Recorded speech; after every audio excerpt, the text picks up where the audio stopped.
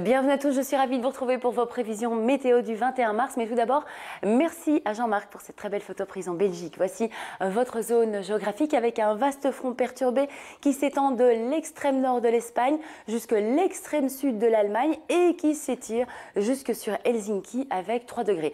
À l'avant, on va retrouver des nuages sur Prague, Vienne ou encore Budapest. Et puis plus sud, bien loin de tout ça, le soleil sur Rome, Belgrade, Tirana, Sofia ou encore Bucarest avec des températures qui seront comprises entre 17 et 23 degrés. On continue notre survol direction les États-Unis et le Canada et la perturbation qui se trouvait hier sur San Francisco se décale en direction de Los Angeles. Pour le moment des nuages, des pluies à prévoir. Vaste front orageux entre Denver et Chicago. À l'avant, on va retrouver des nuages. Bien plus loin, le soleil est au rendez-vous sur Québec ou encore sur Montréal. De l'instabilité sur Kingston, Pointe-à-Pitre ou encore Fort-de-France. On va de nouveau retrouver un ciel couvert sur Cali avec 28 euh, degrés. De la pluie au programme sur Lima avec 29 euh, degrés. Sur la côte brésilienne, eh bien, pas mal d'averses, mais le passage de quelques éclaircies, notamment sur Recife. Soleil bien installé sur Santiago ou encore sur Bariloche.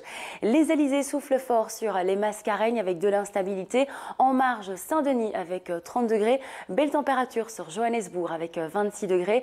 Le soleil s'installe confortablement sur le Sahel, par exemple 42 degrés sur Niamey. Entrée maritime sur le Maroc qui vont tout doucement se disloquer en cours d'après-midi. Et puis on a un front ici qui se creuse et qui amène des précipitations sur Dubaï ou encore sur Mascate. Des averses possibles sur Kaboul, nuageux sur Islamabad, belle température sur New Delhi avec 35 degrés, de l'instabilité pour l'extrême sud de la péninsule indochinoise avec 31 degrés pour le Cambodge. On va retrouver pas mal de précipitations sur la façade est de l'Australie, des averses orageuses sur le sud, de la fraîcheur pour l'extrême sud de la Nouvelle-Zélande, de l'instabilité pour les îles du Pacifique, un temps perturbé sur le Japon, 12 degrés sur Tokyo et Osaka avec des averses et puis le soleil est bien présent sur la Chine avec par exemple 15 degrés sur Pékin. Pour notre info du jour, eh bien direction le Chili. Le Chili connaît des variations climatiques extrêmes.